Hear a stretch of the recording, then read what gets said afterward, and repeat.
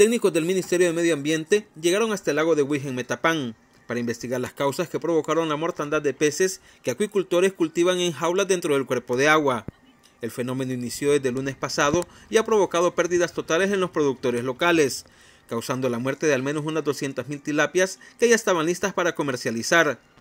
Los técnicos del ministerio tomaron muestras de agua y también se llevaron algunos espécimes muertos para practicarles los análisis correspondientes y determinar las causas del fenómeno, que preliminarmente podría deberse a la falta de oxígeno en el agua.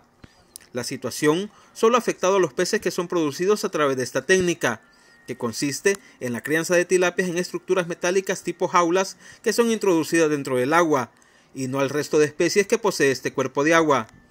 Los afectados señalan que en el sector donde se ha presentado el fenómeno que mató a los peces hay al menos unas 25 jaulas de crianza y cada una tiene una capacidad para producir entre 7.000 y 8.000 tilapias, asegurando que las pérdidas económicas son cuantiosas. Los resultados de los análisis que hará el Ministerio estarán listos la próxima semana, informó para la prensa gráfica.com Juan Carlos Barahona.